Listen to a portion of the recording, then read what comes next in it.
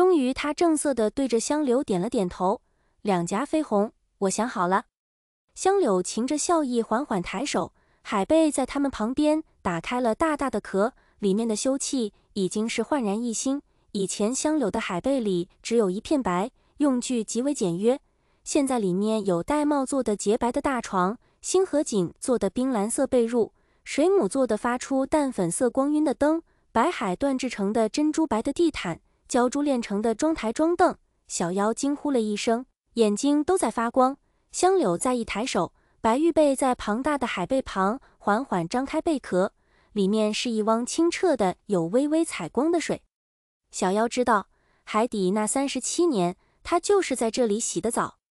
他羞涩地看了一眼向柳，你先去。向柳眼含笑意看着他，不一起。小妖捶了他一下，你想得美。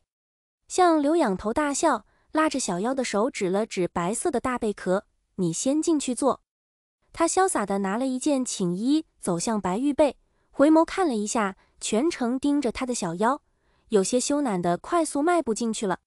白玉贝缓缓闭上，小妖的心砰砰跳着，像是要从嗓子眼跳出来了一样。他自认百年光阴，他看凡人结婚生子、鱼水欢好，已经看腻了。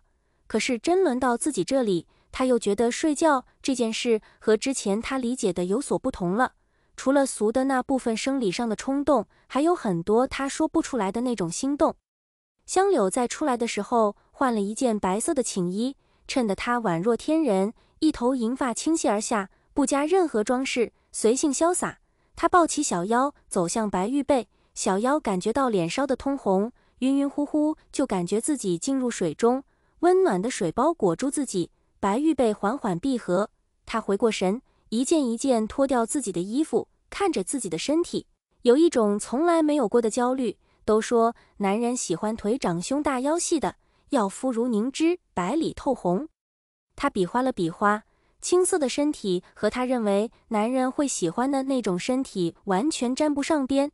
他长长叹了一口气，也不够白，行走大荒，风吹日晒的，还黑了。他有点崩溃，感觉自己选择今天实在是脑袋抽了。他开始打起了退堂鼓，白玉背外缓缓传出动听的歌声：鱼戏莲间泪，习香露；鱼打浇花泪，清气多；一尾连珠湿我衣腰，一碗桃花占我心忧。馋得我身如烈火，焚得你忧至天明。夜夜如今欢好时味，朝朝如今长相思味。他的歌声很美，和他一样，明明是两相欢好的歌谣，却被他唱的仿佛是纯美情深的情歌一般，清透如冰雪明月。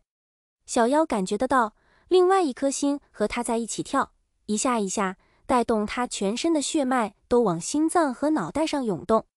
他以海绵巾擦干净身体，轻轻呼出一口气，尽量平稳呼吸，穿上那身洁白的寝衣。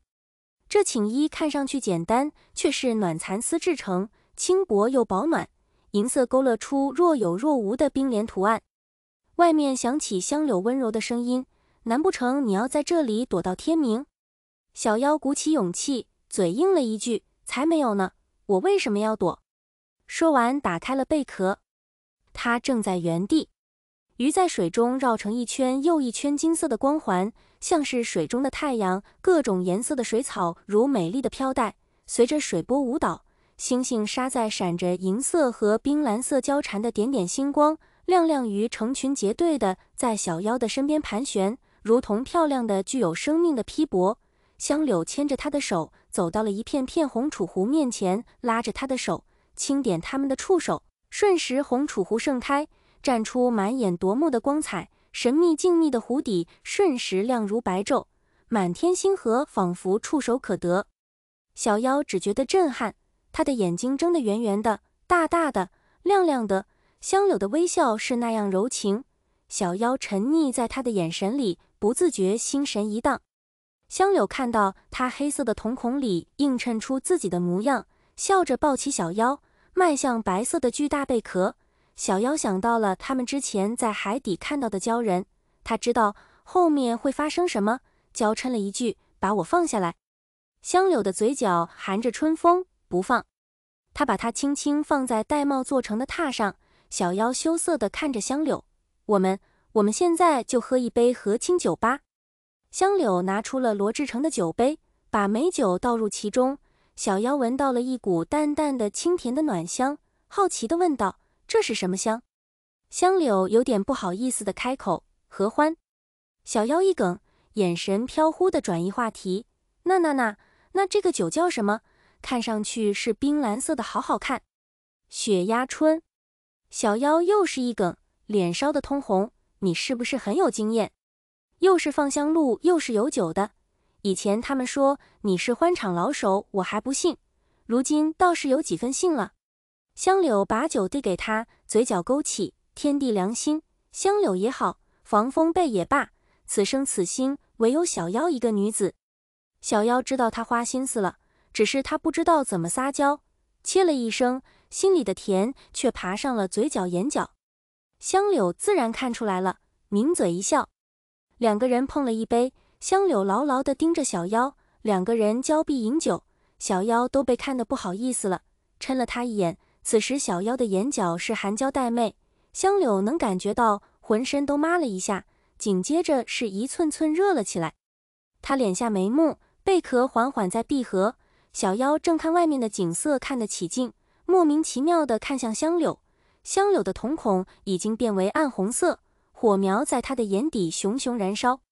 小妖琢磨了一下，香柳饿了，他轻轻扯了扯领子，露出脖颈，吃吧吃吧。向柳闷笑了一声，轻轻挑眉：“你说的。”小妖点了点头，还在往贝壳外面望。嗯嗯，你把贝壳打开呀，你真斯文，吃个饭都不许别人看。